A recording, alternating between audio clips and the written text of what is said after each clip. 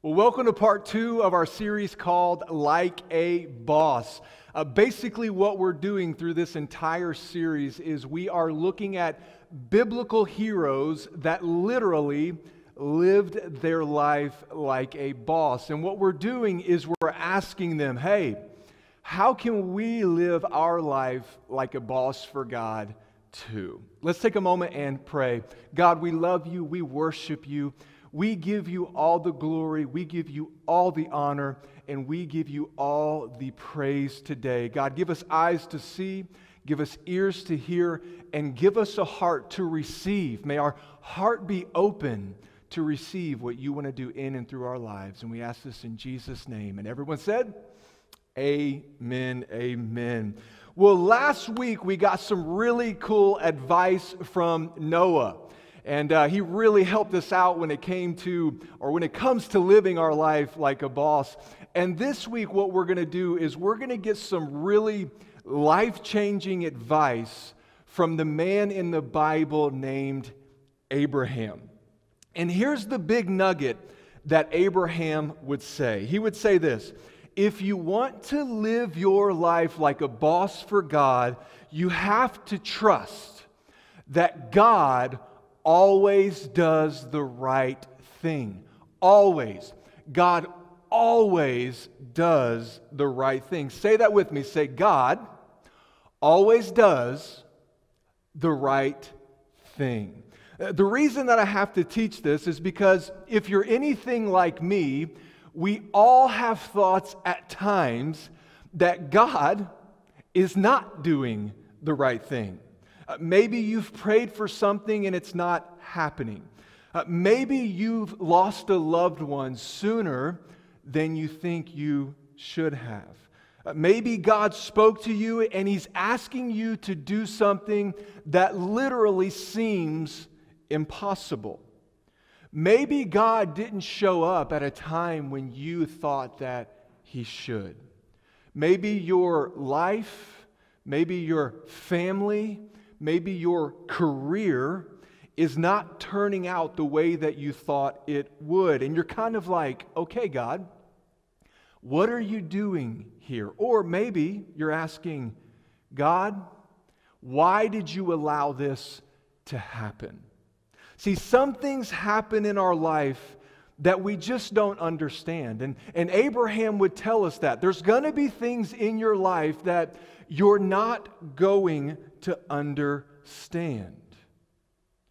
And this is where Abraham would say if you want to live your life like a boss, you're going to have to learn to trust God, trust God, trust God, even when things don't make sense. Why would Abraham say this? Let's take a look at his life and we'll see why Abraham would say this. One day, true story, one day when Abraham was old and gray, and might I say, he was old and gray and childless, God told him, Hey, Abraham, you're going to have a son, and your son is going to be an heir. And after God says this, years go by. Years, again, he's old and gray. Years go by, and guess what? No child, which means Abraham doesn't have an heir. God, at this moment, does not seem to be doing the right thing. So, what happens? Abraham and his wife Sarah decide that, hey, I think we need to help God out here and really kind of make things happen on our own because apparently he doesn't seem to be doing what he said he was going to be doing. Uh, he doesn't seem to be doing the right thing. So, what happens? If you know the story, uh, fast forward a little bit, we see that Abraham ends up laying with Sarah's servant, and Sarah's servant gets pregnant and gives birth to a child, a son named Ishmael. However, God looks at the situation and God said, Hey, I need to give you a heads up. Ishmael is not my promised child for you. But Abraham and Sarah, you're going to have a child of your own, even though you're beyond childbearing years. Because God had promised to Abraham and Sarah, though something seemed impossible, that he was going to do the right thing and that he was going to give them a promised son and an heir. And his name would be Isaac. So when you look at the Bible, you're going to see that there's an Ishmael and then there is an Isaac. Let me ask you this question What if you're in your 90s? You, right there watching this, what if you're in your 90s? You're 90 years old and God says, Hey, I'm just giving you a heads up. You're going to have a child eventually. Uh, I don't know about you, but I'd be like, God, are you living in California or Colorado right now? Because you're not making a lot of sense. Uh, like maybe you don't know God, but biologically, uh, that's not going to happen because, as you know, things aren't happening if you know what I mean. And this is where Abraham would say, Hey, I've lived this one out. I've lived this one out. I had my doubts at times too. But I need you to know this God always does the right thing. And here's what Abraham would say God always does the right thing, number one, even if it takes a long time even if it takes a long time. Abraham would say, I was expecting God to give me a child in really my childbearing years when I had reproductive ability. I had no idea that he was going to wait until I was 100 years old to give me a child. Abraham would say, Hey, I know you may not understand, but trust me. There will be times in your life where you're going to think, God waited too long. And then he would go on to say this if you want to live your life like a boss for God, it's imperative that you learn God's timing is not our timing. We see this all throughout Scripture that God's timing, your timing, the when you want things is not necessarily God's timing. And see, what we do, if you're anything like me, we have a tendency to want things now. I want this house now. I want this car now. I want to live in this certain place now. I want to get married now. I want children now. I want this promotion at work now. We want it our way and we want it right away. And what happens? What happens when we live in a now, now, now, now, now mentality? Here's what happens and we see this all in America. We see that it causes us to get in crushing debt. Did you know that 78% of Americans live paycheck to paycheck? And a lot of that is because we have a tendency to want things now. I want it now. I deserve it. I work hard. And we're not patient and we don't wait and we don't save up and then make those purchases and then it causes crushing debt it causes us to make bad decisions and, and it causes us to regret things. And, and those regrets really end up sticking around like Ishmael's for the rest of our life. See you know what happens? Do you know what happens when you take matters into your own hands? What happens is this. We create Ishmaels. And later, when God's promises do come, don't miss this, when God's promises eventually come, because they will come if we're patient, the Ishmaels that we created are still hanging around. They don't go away. And guess what you have to do? You have to keep feeding them, you have to keep caring for them, and they end up becoming a burden for the very promise that God has given you in your life. If you want to live your life like a boss, then you're going to have to let God be in charge of the promises that He has for you. Let God be in charge of your promotion, your demotion, and your no motion. See, when you do things God's way in the workplace over a long period of time, God will let promotion find you. I can remember going off to Bible school, and I remember I felt like God was calling me to be a pastor one day. I had no idea how, how I had no idea where. All I decided that I was going to do is that I was going to serve God's church. Wherever God needed me, I was going to be there and I was going to be there faithfully and do whatever He wanted me to do. I did that for two years, just serving, serving, raising my hand. Hey, you need something? I'll help you out. What can I do for the church? And I can remember one time I was asked to, to help out with a student summer camp back in 2004. And I remember I was just serving, uh, helping out with the camp, working my tail off, sweating in the heat, telling kids, get over here, do this, that, and the other, let's go, come on. And I can remember a friend of mine coming up to me and saying, hey, um, the pastors want to talk to you. And I remember thinking, okay, you know, what's this all about? And I, remember sitting down with the pastors and they say, hey, we've seen you serving faithfully. We love your heart towards God's church and, and, and what you're doing here. Uh, we want you to go be a youth pastor. And in that moment, I didn't ask for it, but prom- promotion found me. And it's been that way all through my walk with God. And if we put our faith in Him, guess what? Through time, and at God's perfect time, promotion will find you. See, when you do things God's way and you get demoted, let's talk about that for a second. What happens when I'm living for God and I get demoted? Check this out. You might find out when you get demoted that it was God's protection. God allowed you maybe to get demoted to another branch because He knew in the near future your current branch was going to get closed down.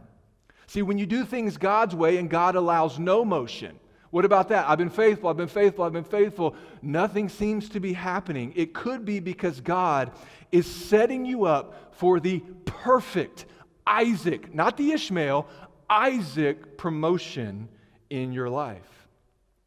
You just have to wait and be patient. Say that with me. Say, I'm going to wait and I'm going to be patient for the promises of God.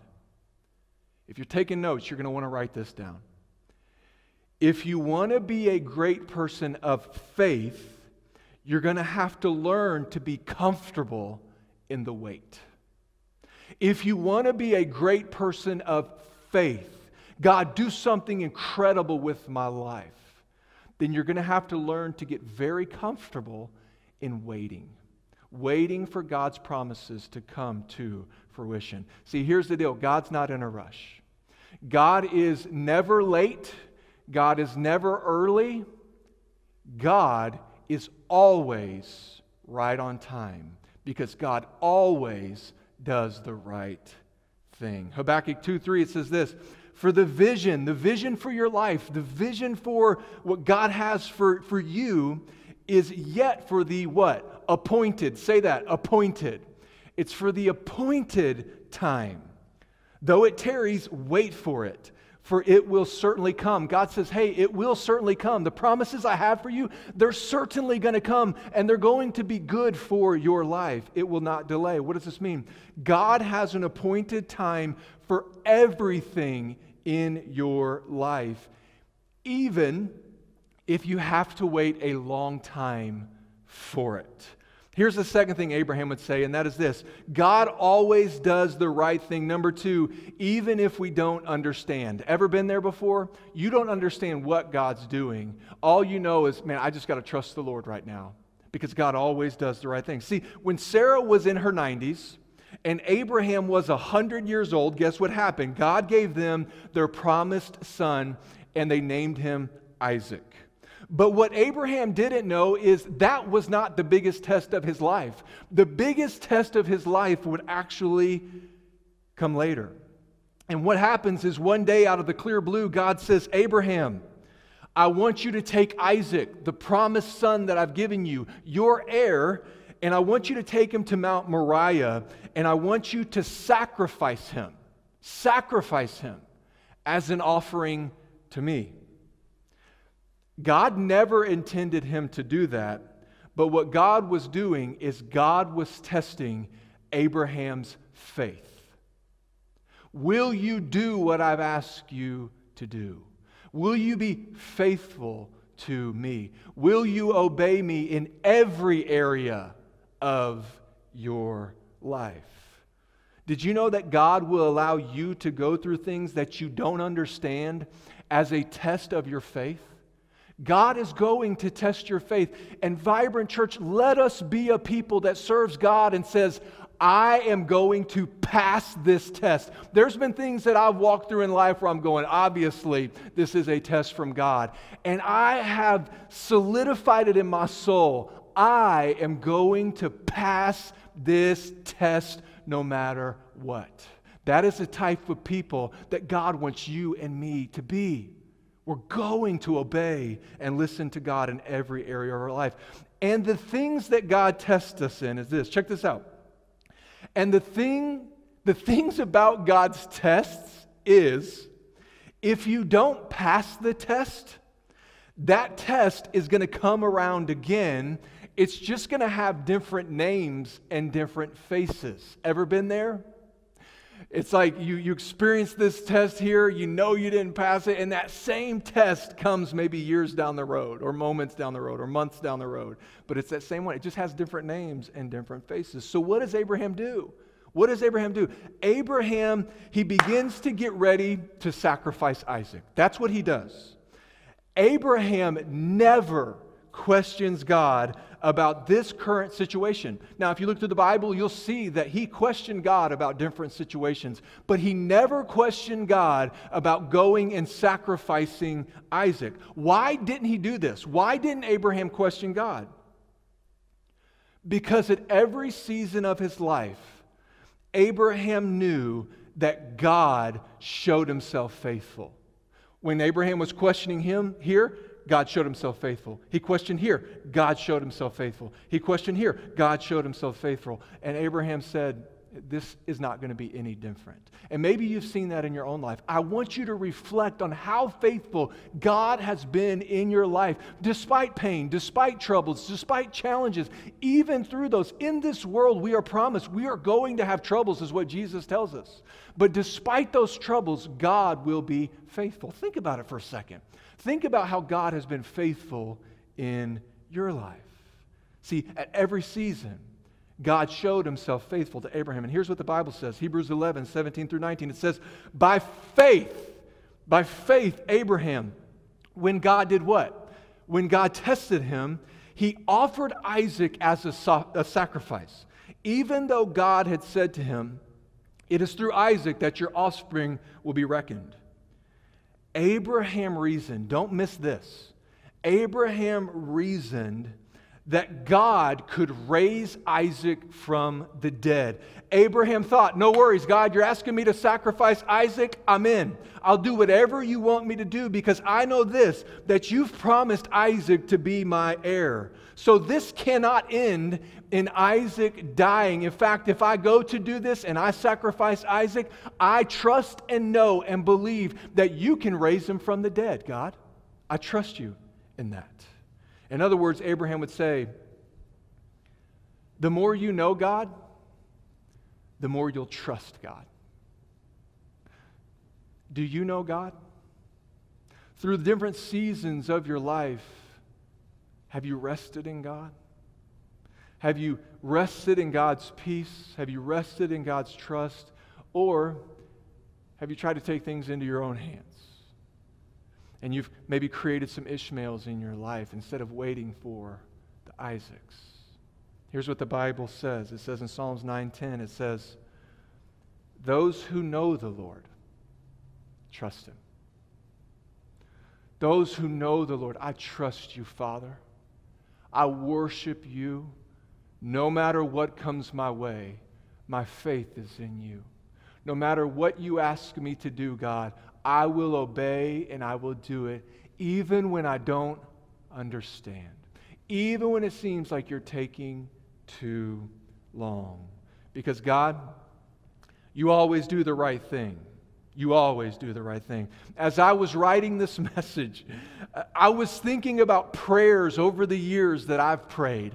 And I look back and I go, I am so thankful that God did not answer those prayers. You ever been there? Any of those prayers that you've prayed and you're like, woo, thank God you did not answer those prayers. What does this show us? It shows us that God knows best. God knows best. And if we want to live our life like a boss for God, then we need to give up the obsession of having to know everything. If I know, then I'll move in faith. Well, that's not faith.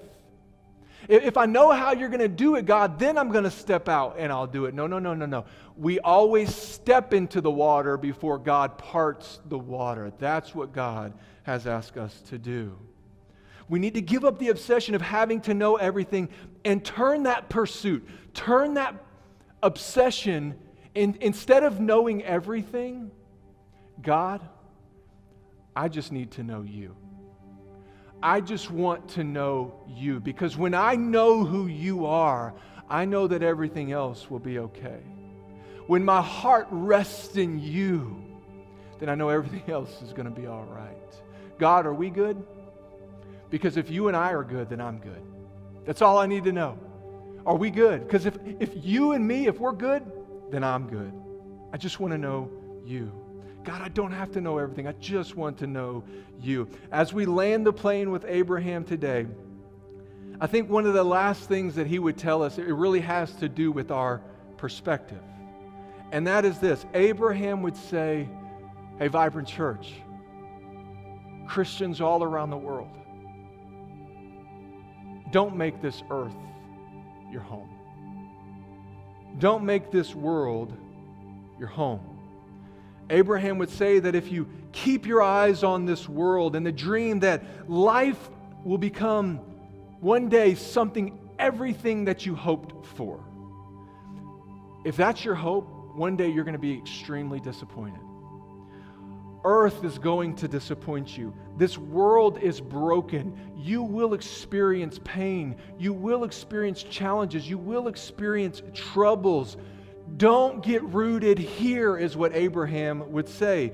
Don't get to a place where your satisfaction comes through the events and the pleasures of this world. Abraham would say it this way He would say, Hey, you're just passing through. You're just passing through this place. You're going to be here 70, 80, 90, potentially 100 years. You're just passing through because one day you will spend eternity somewhere. And he would say, as you're passing through, make it your goal to take as many people to heaven with you as you can. My question for you today, church, is this When is the last time that you led somebody to the Lord? When's the last time that you actually shared your faith with someone? That is what you and me are called to do as followers of Christ. It's not just about attending, it's not just about watching. Those things are good. But at some point, we have to become a player in the game.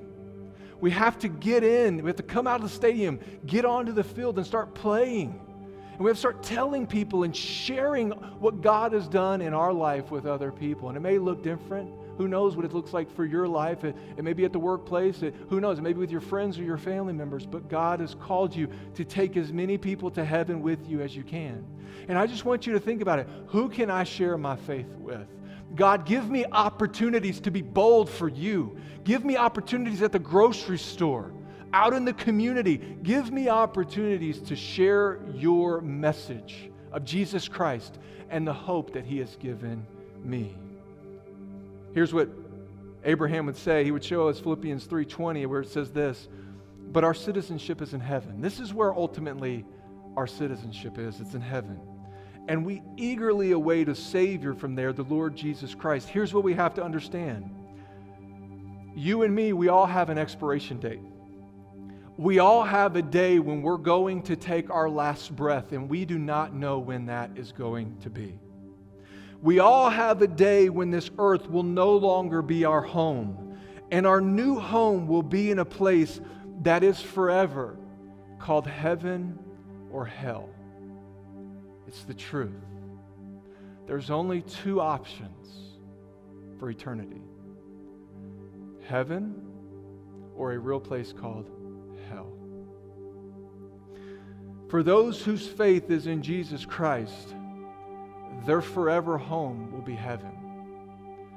But for those who do not surrender their life to Christ, to Jesus, and live according to his ways, their life, their eternity, their forever life, forever home, will be in a place called hell. Ultimately, what Abraham would say is, Where will your forever home be? Where are you going to spend eternity?